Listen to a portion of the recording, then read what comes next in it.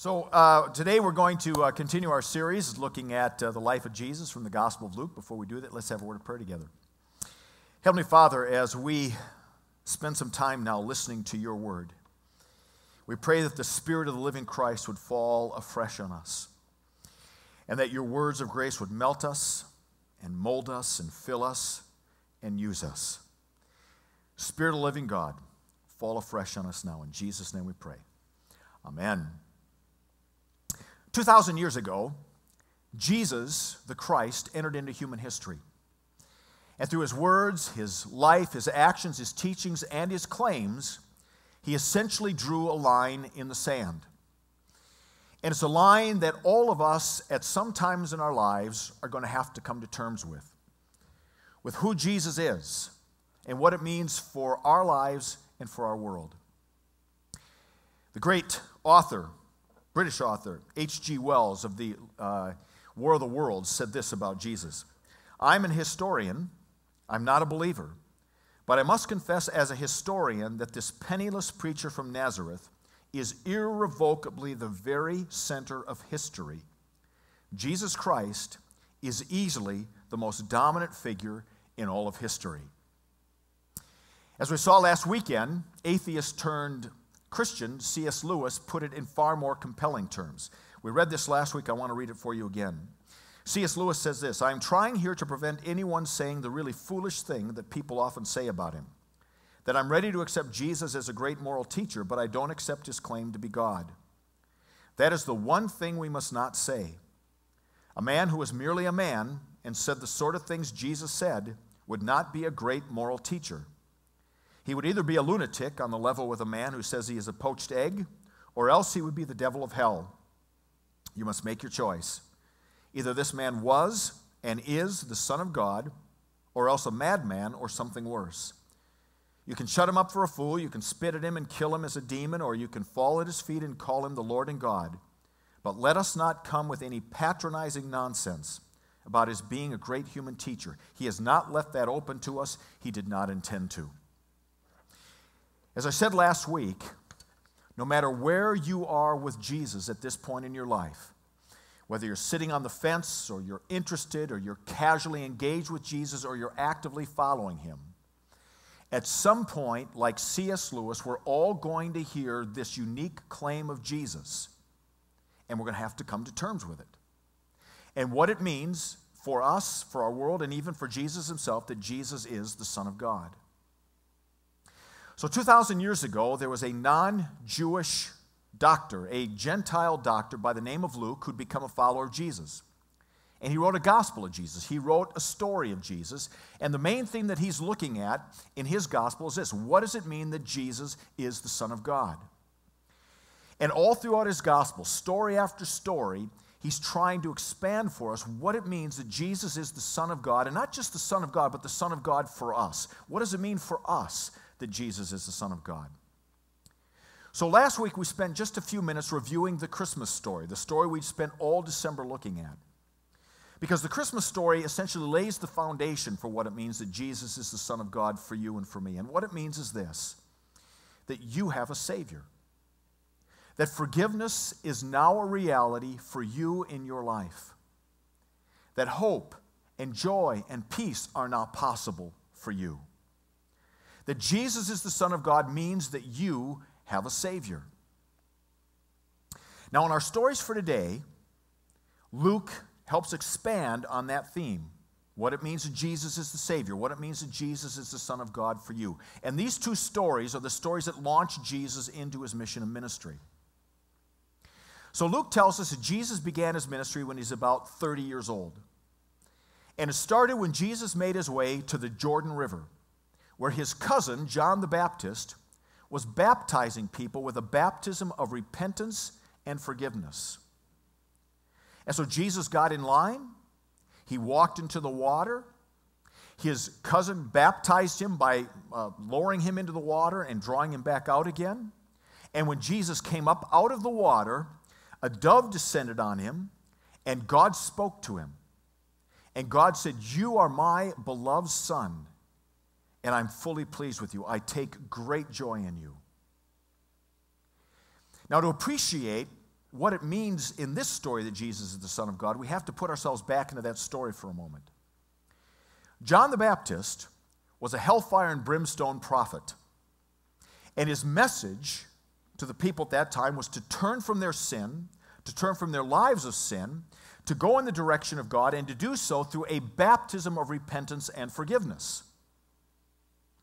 So here comes Jesus. Scripture says the sinless one. He's never committed any sin, and he gets in line for this baptism of repentance and forgiveness. Now, when Matthew tells this story in his gospel, he says that John is almost offended by this. And John says to Jesus, Wait a minute, you should be baptizing me, not the other way around.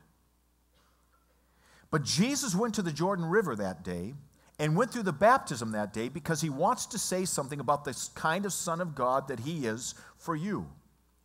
And what the baptism of Jesus says about Jesus for you is this that Jesus is the Son of God who aligns himself with sinful human beings.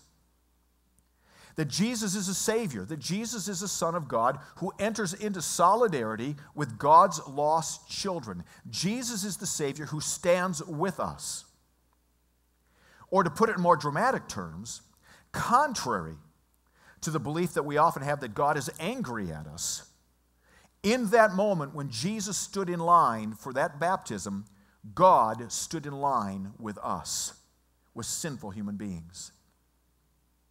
You see, just as in the birth story, God, through Jesus, enters into the whole of human experience as we live it from birth to death. So, in that moment of baptism, Jesus aligned himself with us. He stood on our side, he entered into solidarity with us. Because Jesus is the Son of God who comes not to condemn, but to stand with those of us who are lost and sinners. Now, right after his baptism, Jesus went out into the wilderness for 40 days, for a period of time.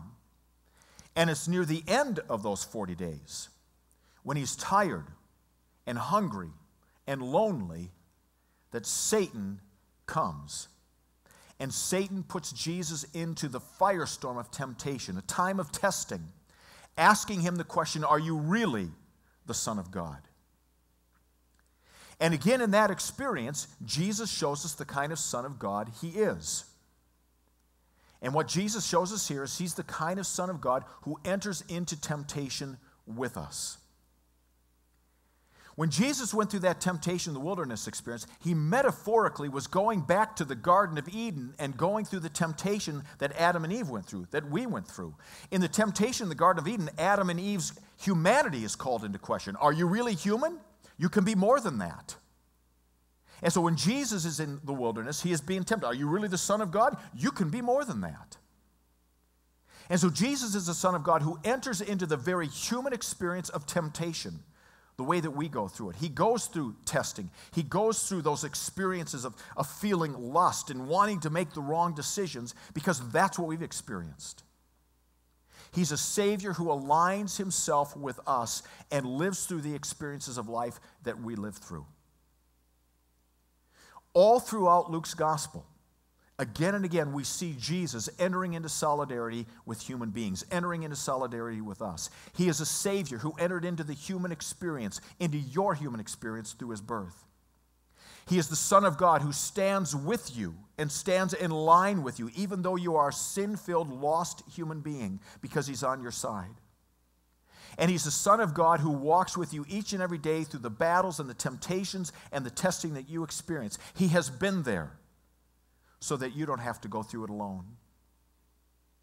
The writer of Hebrews puts it this way Because God's children are human beings, made of flesh and blood, the Son also became flesh and blood.